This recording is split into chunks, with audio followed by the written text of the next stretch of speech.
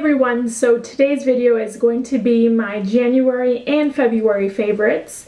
Um, I'm going to combine these two months together because I did not do a January favorites. However, at the beginning of January I did start a new job, so uh, all of last month and all of this month, all I've been pretty much doing is working. So as you will see by my favorites, it's not too exciting. I have a couple brushes and then pretty much all face products, an eyebrow product, and a blush bronzer highlighter trio thing. Okay, first we're to start with foundation. So I would have to say that my all-time favorite drugstore foundation has to be the CoverGirl Outlast Fabulous 3-in-1 foundation. My shade is in Nude Beige and I love this foundation because it stays put on my face for the entire night.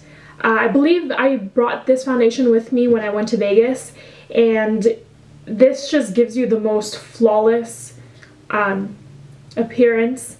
Like I said, it lasts all night. Uh, the only downside though, it is uh, a little bit on the drier side. So if you have dry skin or if you have dry patches, you really want to be careful about how much you put on there because it will cling to your dry patches. Other than that though, it is awesome. It is a full coverage foundation in my opinion. Um, and like I said, this is my all-time favorite drugstore foundation. Another foundation that comes pretty close to the CoverGirl um, Outlast Stay Fabulous foundation is the Revlon Color Stay Whipped foundation. And my color is in 150 Buff. And I like this for different reasons that than I like the CoverGirl one. The reason why I like this is, is because it is a lightweight foundation. Um, I would say it's got a light to medium coverage, but this is one of the very few foundations that does not completely melt off my face. Um, I wore this a couple days ago to work. I work 12 hour shifts. Um, so I put on my makeup about 5 a.m. and then I take off my makeup at about 8.30 p.m.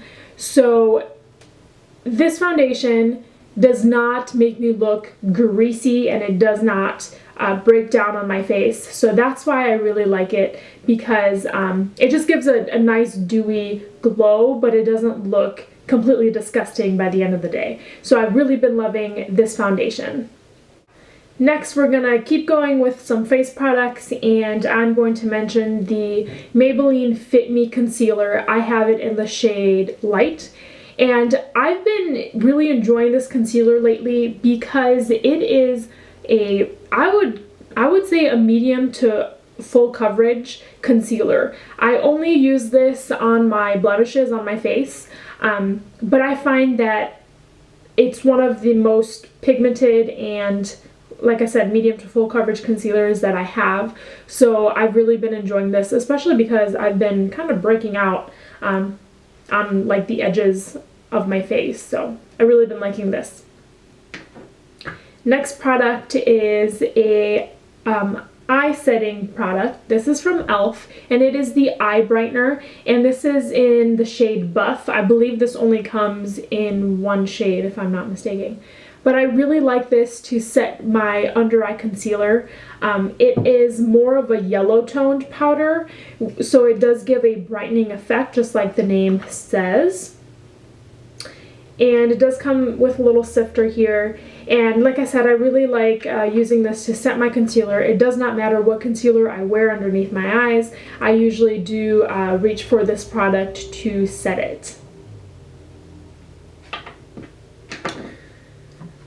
Next product is an oldie but a goodie. As you can, as you're gonna see from the packaging, it is extremely worn out and old, but I love it. And it is the Wet n Wild Ultimate Brow Kit. As you can see, most of the running is already uh, rubbed off, but this is in the shade Ash Brown, and I use the middle shade there, as you can see.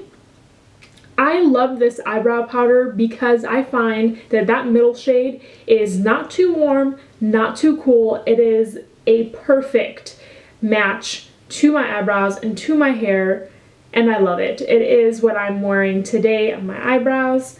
Um, it's just a great, great product, and it's super cheap too at the drugstore. Like, how can you beat that? Alright, and the last makeup product is one from Victoria's Secret. Now, I'm to put a little disclaimer out here. I don't know if they actually still have this product in store. I looked on the website and they do not have it on the website. Um, they may still have it in store, but I'm not sure. I bought this three years ago, I believe. Um, but it is the bronzer highlighter trio in glowing. And this is what it looks like. It comes with a highlighting shade a bronzer shade and a peachy blush shade. And the reason why I've been loving this is because um, this is a quick go-to product that I tend to reach for when I'm doing my makeup in the morning early, early in the morning for work. And the reason why I reach for this product is because I have everything I need in this little palette. I have my bronzer, I have my blush, and I have my highlight. So I just reach for this because it makes my makeup routine go a little bit faster because I don't have to dig through my drawers to find a blush I want to wear or a highlighter I want to wear. And also um, all of the colors are pretty neutral and they tend to go with any type of look that I want to do. So um, yes, I've been reaching like nine times out of ten if I reach for a bronzer it's going to be this one and then I just use, use the highlighter and the blush that comes along with it.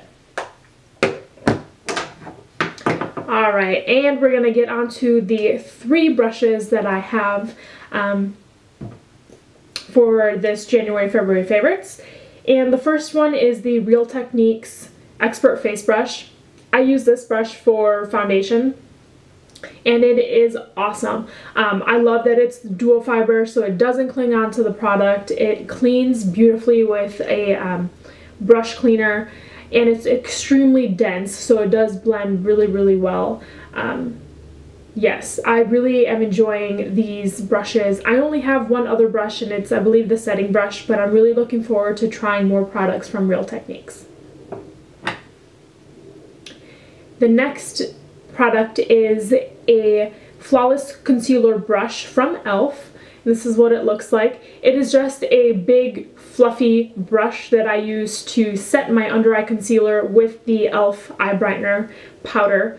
Um, I really enjoy this uh, brush because it is soft and it is fluffy enough to just kind of like buff everything out underneath um, underneath your eyes. So really been enjoying this one.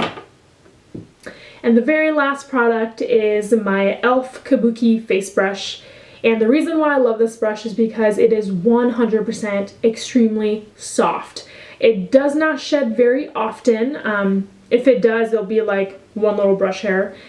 But it is big, it is fluffy, and it is soft. And I love to set my uh, foundation with this. So, yeah.